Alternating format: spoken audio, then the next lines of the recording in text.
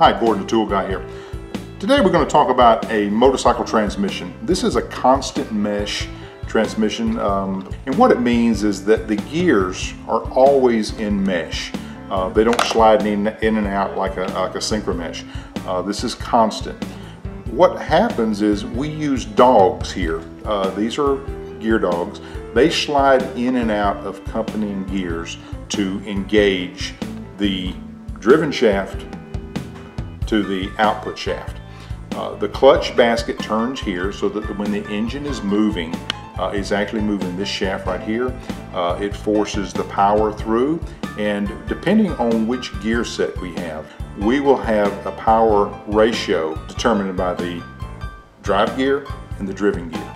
This is what we call a shift fork.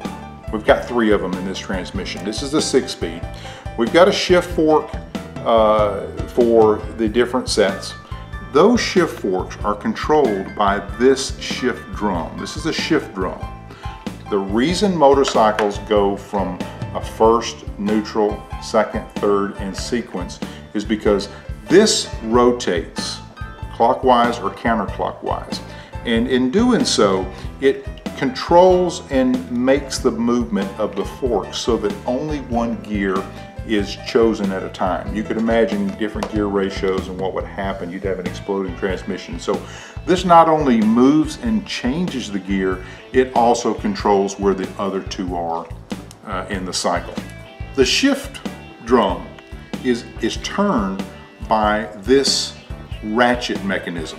This ratchet actually comes on the outside and as we turn it, um, we're, we're moving it one notch we let it go, we move it again, it's actually turning. This controls the movement of a gear up one or down one. This is the shift mechanism. Of course, our transmission runs in the bottom of the crankcase. They love oil, so first thing we're gonna do is we're gonna lubricate this transmission, okay?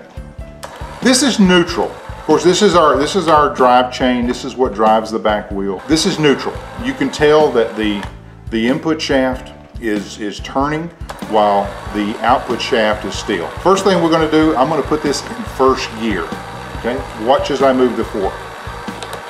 You can see here the shaft is turning. All right, that was first. What we'll do now, we'll go into second. Now we see second gear engaged.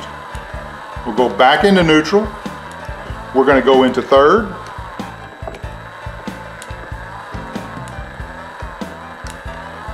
We'll go into fourth.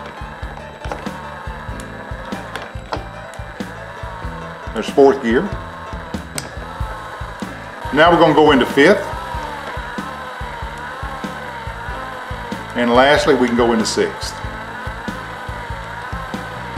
Okay, now we're going to slide it back into neutral. Thanks for watching. We ask that you share, like, and comment. Join us soon for the assembly of this Yamaha TTR 225.